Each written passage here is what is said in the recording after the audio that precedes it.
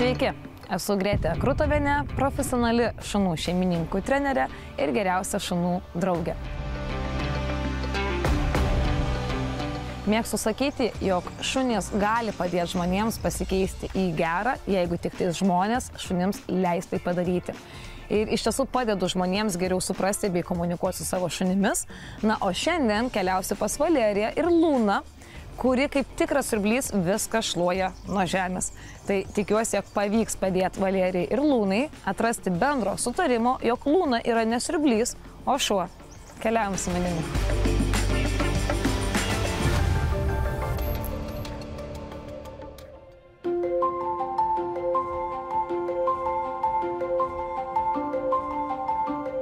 Labas. Sveika. Grėtė. Valerija. Malonu, čia Ir man spėjau malonu. Lūna, ne? Taip. Labas, tokia draugiška, ne? Aš visą laiką norėjau šunį, aš turėjau šunį, kai buvau vaikas, kai dar buvau mokykloje, bet tai vis tiek daugiau buvo nu, kaip šeimos, šeimos šuo, bet labai norėjau savo draugės ar draugų, bet e, po katės atsiradimo žinojau, kad noriu antros draugės. Lūna atsirado mano gyvenimą prieš gerus dviejus metus jau dabar. Jie atsirado, aš ją pasėmiau iš prieglaudos. Tai kaip supratau, Lūna yra ne šuo surblys. Nurankio, taip. Ok, tai papasakok truputėlį plačiau apie tą savo problemą, kada prasidėjo, ar jinai visą laiką tokia Visą buvo? laiką. Ir visą laiką. laiką. Viską rankio, nu maistą pagrindę arba kitų gyvūnų atlikas. Tai tarsi išmetas. iš- Išmetas, jo. Ir valgo tas išmetas. Taip. Mhm. Ir komanda palik e, nelabai veikia. Nu gal veikia prieš jai kažką pasijėmus į burną, bet jeigu jau kažką paragauja ir laiko, tai tą komandą spjauk ar palik, e, Ne, ne, jinai jo nėra veiksminga.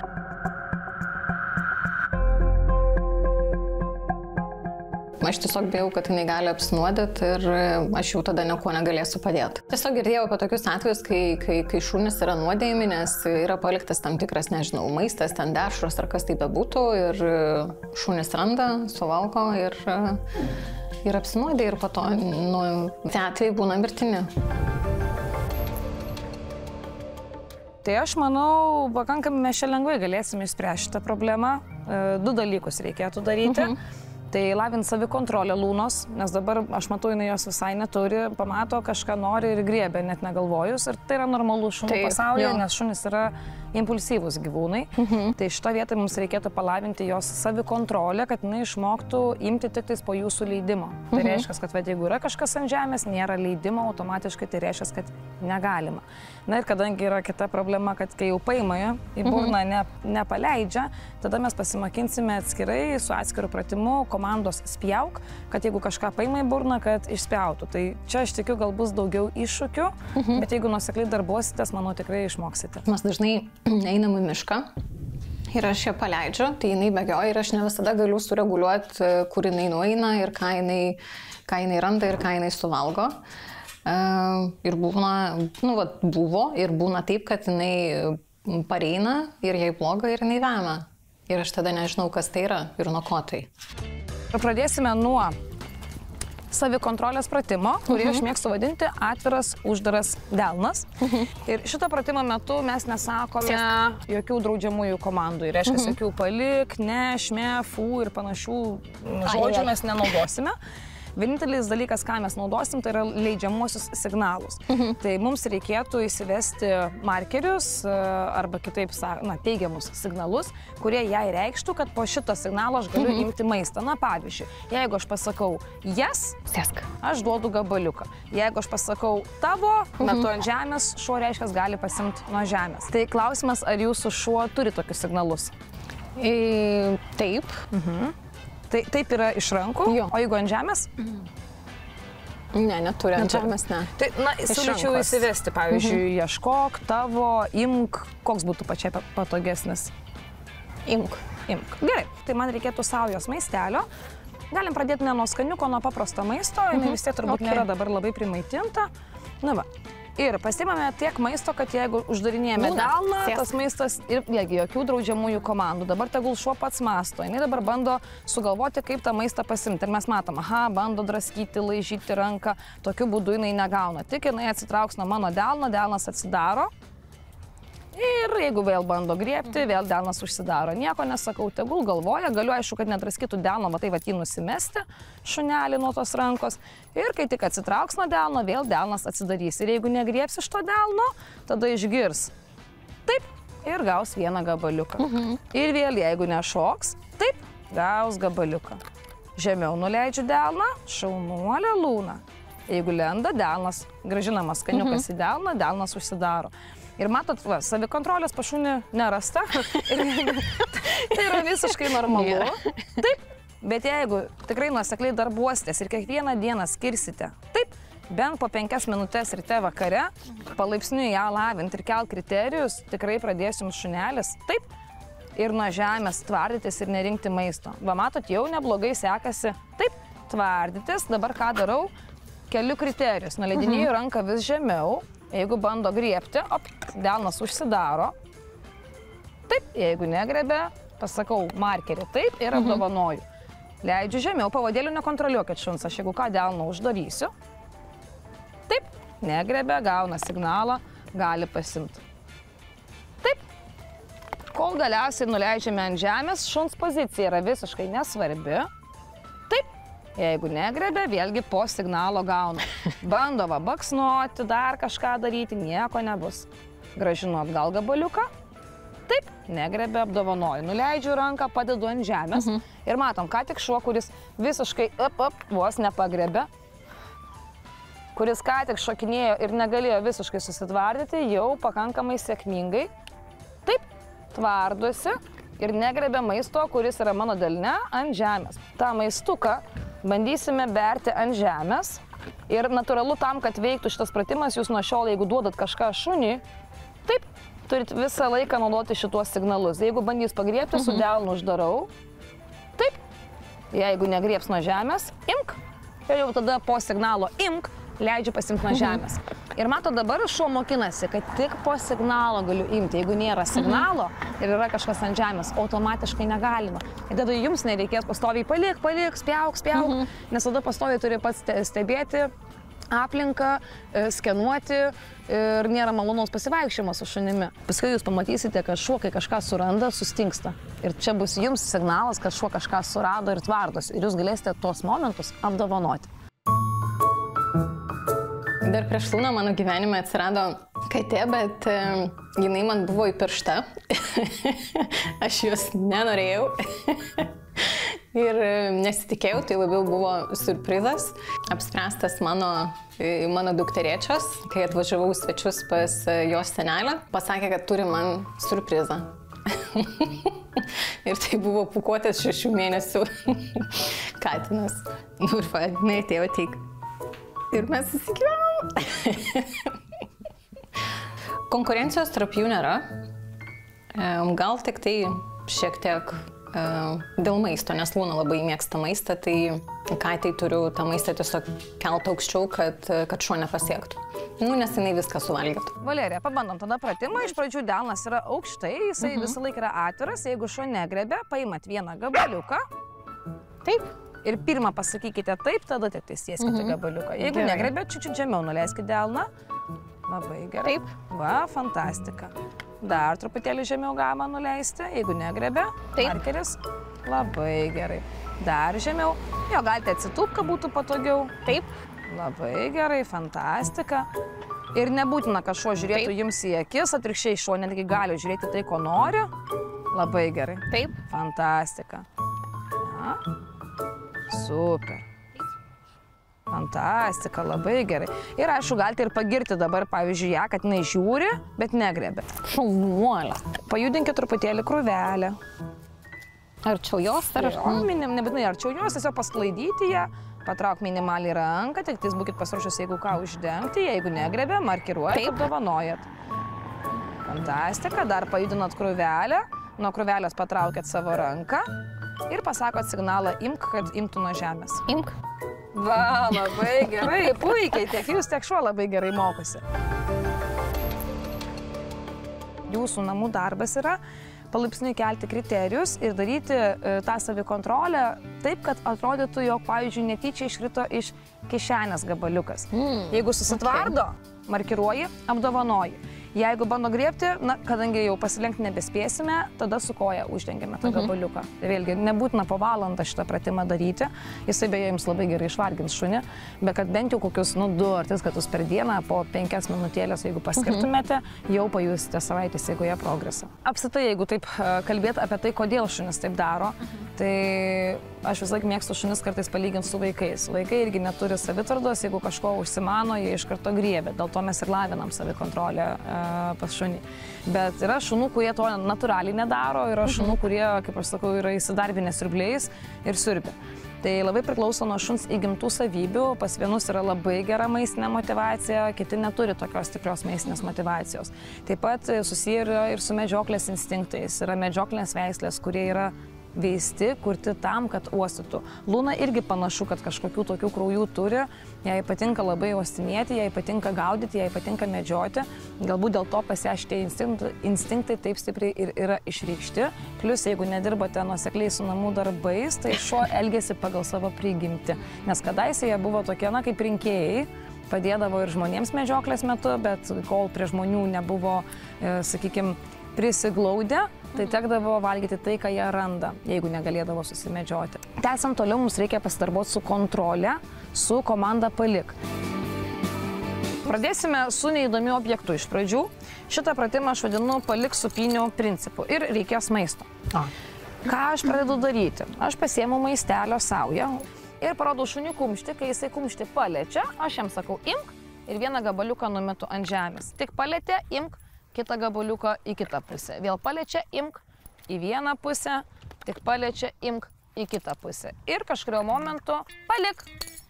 Taip, va, labai gerai, super. Ir vėl imk, numetu maistelį, paimu objektą, imk ir kartoju, oi, labai greitas šuo, net nespėjau numesti. Ir vėl kartoju pratimą, imk iš naujo. Jis dabar užsiciklina ant to, kad imk, reikia gaudyti, reikia mhm. vaikytis. O kažkurio metu aš vėlgi metu visiškai šunį imk, neįdomu objektą. Ir kodėl metu neįdomu? Palik. Taip, wow, super. Matėt, šį kartą net nebėgo link objekto, dėl to visą apdovanojimą atidaviau, kiek jis turėjau rankoje. O paskui galima daryti šitą pratimą ir su maistu. Tai tais, kai darom su maistu, tada jau reikalinga pavadžio kontrolė. Reiškia, aš parodysiu iš karto ir su maistu. Pasiemu pavadėlį, pasiemu maistelį. Ir kai sakau imk, metu tokiu atstumu, kad šuo galėtų imk, lengvai pasiekti laisvų pavadėlių. Imk, o kai aš sakysiu, imk, komanda. Palik, metu, matėt, toliau, taip, kad įsitemptų pavadėlis ir šuo nepasiektų. Imk ir paskui vėl kartoju iš naujo. Ir mes matom, Luna kol kas nedaro išvados. Ir būna tokių šunų, kurie Kai kurie padaro po keturių pakartojimų, kad e, tą išvadą, kad reikia sustoti iki įsitempimo. Taip, o kai kurie padaro po 30 kartų. Luna panašu, kad yra tas šuo, kuris padarys po 15, po 20 pakartojimų, bet anksčiau ir vėliau ateis tas momentas, kada jinai negriebs to gabaliuko, ne tai, kad negriebs, bet mhm. jinai sustos iki įsitempiant pavadžių. Tada va, turi būti iš jūsų pusės tiek emocinė prasme, tiek atlygio prasme didžiulis apdovanojimas.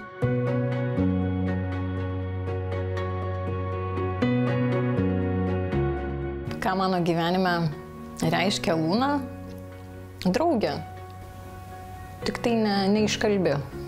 Paskutinis šiandien pratimas, kurį aš noriu Jums parodyti, yra komandos spjauk mokymas. Mhm. Kad jinai jau kaip turi kažkokį daiktą burnoje, kad jinai galėtų po Jūsų komandos paleisti tą daiktą. Nes kaip suprantu, šiai dienai Jeigu jau turi burnoj, viskas jos. Nu taip, sirglys. tai, e, reikės man maistelio ir galbūt jūs turit kažkokį daiktą, gal kokį kamoliuką, žaisliuką, kur aš galėčiau. Kamoliuk turiu. O, puiku. Toks tiks. Mhm. Taip, tiks, o čia galėsiu dar iki iš maistelio.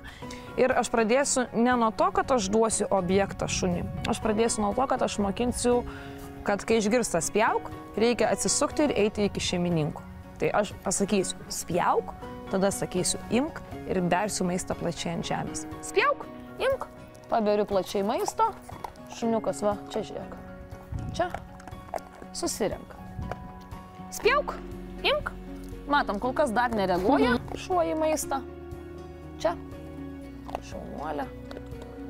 Spjauk, imk, va, jau matėm, buvo šiek tiek reakcijos, jau galva pradėjo kelti išgirdus šitą frazę. Okay. Spjauk, imk, va, fantastika, labai gerai. Spjauk, imk, na va, matėm kokią gerą jau reakciją. Tik išgirdo spjauk, iš karto staigus atsisukimas. Mhm. Dabar pabandysiu čia nais įdėti maistelio, kad jinai bandytų šito daikto išsitraukinėti, kad jai būtų įdomus tas objektas kažkiek. Ir kai duosiu, jinai pradės, va, čia yra. Tai ir ne. Va čia, skaniukų. Va, va, yra, yra. Aišku, galima įsigyti plokštesnį, nebūtinai kamoliuko formos. Tai žiūrėkit, kadangi su šito objektu mums nesigauna padaryti pratimo, nes jisai rėda visą laiką, mes pabandysime su pagaliu pasidaryti. Gerai? Mhm, gerai. Ir natūralu, kad prieš darant su objektu mums reikėtų dar daugiau pakartojimų mhm. be objekto, kad dar geriau tą, į tą spjaukinai reaguotų. Pabandysiu biški ją užvesti ant to pagalio, kad jinai susidomėtų tuo pagaliuku, kad imtų jį į burną. Spjauk, imk. Va, labai gerai iš karto kitas reikalas. Čia. Ir vėl sakau, o žiūrėk, kas čia per daiktas. Ir vėl sudominu šunį tuo objektu. Davai, davai, davai, tavo, tavo, tavo. Tavo, tavo, tavo, tavo, tavo. Va, va, man nereikia, imk. Paim, paim. Paim, paim. Spjauk, imk. Nais, nice, labai gerai, šaunuolė. Sut. Ir vėl sudomino objektu. Pa, pa, pa, pa. Kur pagaliukas? Kur pagaliukas? Svarbiausia, reikia, kai kitam reikia. Aha, Spjauk. Imk. Nais, nice, va, labai gerai, šaunuolė. Super. Nu ir pabandysim dabar testą padaryti. Pasakysiu, spjauk ir pažiūrėsim, ar jinai paleis tą daiktą. Pa, pa, pa, pa. Vai, davai, imam, imam. Tavo, tavo, tavo. Vai, davai. Wow, super, labai gerai, šaunuolė, fantastika. Na, nu, ir bandykit su skirtingais objektais, kamoliukas tas nėra tinkamas, nes jisai padeda labai šokinėti. Pabandykit, va, su pagaliais, įsigykite kažkokį žaislą pailgai, į kurį galbūt įkišti maisto, mhm. kad jinai susidomėtų, jau imtų į burną ir tada praktikuojate spjauk tą paleidimą.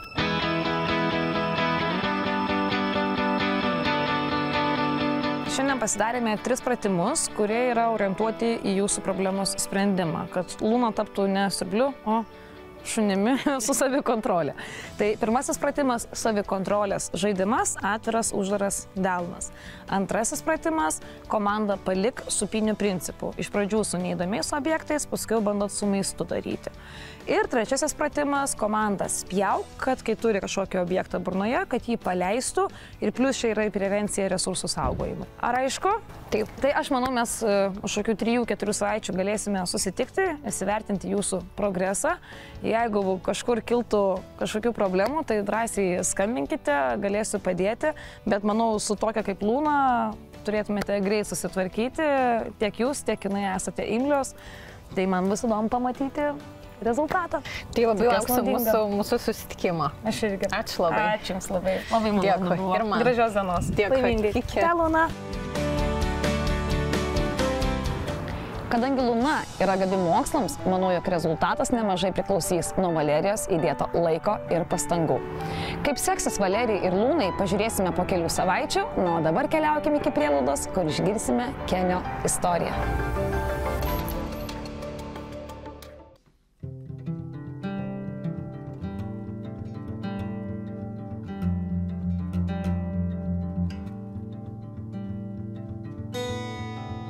Tai papasakokite mums apie šį įdomų sutvėrimą Kenį.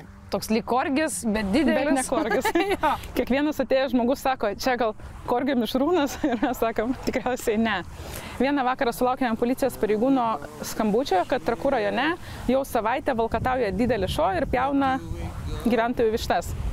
Gyventojai reikalauja, kad nusikaltėliai išvežtų ir taip Kenis atsirado pas mus. Tikėjomės, kad atvažiuos nedidelis rūdas šunelis, nes policijos pareigūnai taip jį apibūdino mums, bet atvažiavo didžiulis aktyvus šuo, kuris tapo mūsų šeimos nariu. Ir Kenijui, kaip Jūs manot, kiek dabar yra metų? Kenijui apytiksliai 3 metai, Tai yra jaunas, didelis, aktyvus patinas. Ir kaip suprantu, kas augina vištas, geriau neįsišudinti kenio. Geriau ne. Bet, o jeigu ne su vištomis tektų kenio gyventi, bet galbūt su kitais šunimis, ar žinot, vat, kokios jo reakcijos yra į kitus gyvūnus? Žmonės norintys įsišūninti kenį, manau, turėtų būti atsargesni, jeigu augina katę ar mažesnį šunelį, kadangi kenis tikrai gali neapskaičiuoti savo jėgos ir sužeisti gyvūną. Bet kas liečia žmonės, kaip ir minėjote, tiek su vaikais, tiek su suaugusiais. Tobulas su visais Super, labai fainai. Yesterday was our and all of us. And all of us here.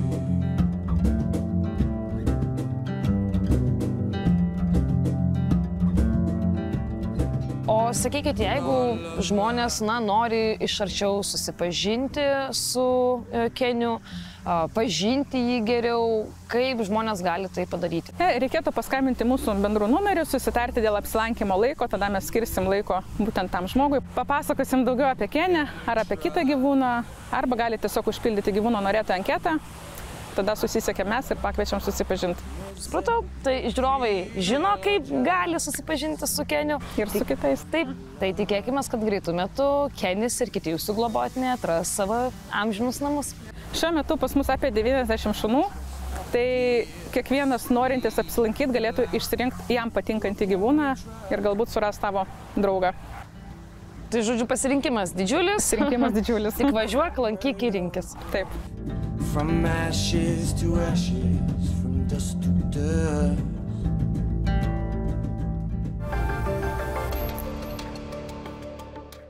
Taigi praėjo kelios savaitės nuo mūsų paskutinio susitikimo su Valerija ir Lūna.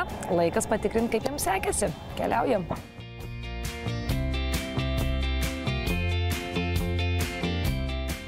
Sveiki, Valerija. Sveiki. Labas, Lūna. Sveika. Na tai kaip jums sekėsi? Ar... Pakankamai gerai.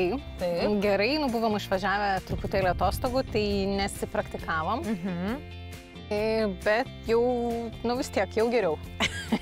O kas gal sekėsi ir kur buvo vietos, kur šiek tiek strigote? E, Sekėsi mokinti, va tas pratimas, kur reikėjo su maisteliu. tai ten labai lengvai. Jo, ir kad susitvardytų ir kai, kai tu meti maistą ant grindų su komanda, su komanda spjauk ir komanda imk. Bet, e, pavyzdžiui, su pagaliu, kai reikėjo atiduoti pagalį, tai va, su tuo jau Čia sunkiau. Čia sunkiau.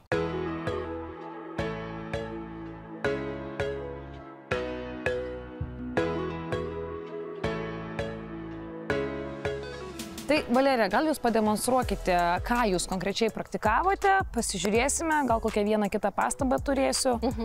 Mielai. Gerai, taip, pažiūrime. Tai darom tada komandą spjauk ir imk. Mhm. Ok. Spjauk. Taip, šaunuolė. Super. Labai gerai. Imk. Ne tą paėmė, bet irgi neblogai. kaip, o kaip šunį žinot, kurį paimti? paimt? Būkit sąžiningas su šunimi. Super. Spjauk. Taip, Vau, super. Super. Spjauk. Super. Wow, labai gerai. Čia tas pats šuo? Tas pats šuo. Imk. Puikiai. Alkana. Tai matau tą pratimą tiek jūs, tiek Lūna gerai išmoko, o dabar norėčiau patikrinti jos aš. savikontrolę, kurią irgi reikėjo lavinti. Aš pabandysiu nuleisti delniuką ir jeigu Lūna negrieps, jūs apdovanokite iš savęs. Super. Wow, nu kokia gera Lūna. Kažkas darė namų Super. darbus. Žiūrėk, net nebežiūri. Super. Jėtus, kokia šaunuolė, kaip puikiai atidirbote. Sveikinu, šaunuolis. Kad suprastumėte, kaip veikia įpročių formavimas. Tam, kad mes suformuotumėm naują įprotį, mums reikia bent jau trijų mėnesių. Jeigu, naują įprotį. Jeigu šuo praktikavo kažkokią nepagėdaujamą elgseną du metus. Metus atitinkamai tiek pat mums reikės laiko, kad suformuoti ir pakeisti tą seną įprotį ir suformuoti naują. Tai natūralu per kelias savaitės aš, na ir tikėjausi, kad nebūsite šimtų procentų viską, kaip sakyti, išsisprendę. Svarbiausia, jog yra progresas ir mes žinome tų vietų, silpnų, kur mums dar reikėtų pasidarbuoti ir yra tų vietų, kur jai gerai sekasi. Tai tai tas, kas gerai sekasi, kas be ko jūs turėtumėte toliau tęsti. Ten, kur yra tos vadinamos silpnosios vietos, daugiau paskirkite dėmesio. Gerai. Na, o jeigu kiltų klausimų ar kas nesigautų, tai būtinai susisiekit su manimi. Ačiū labai Jums už pagalbą. Galima? Žinoma.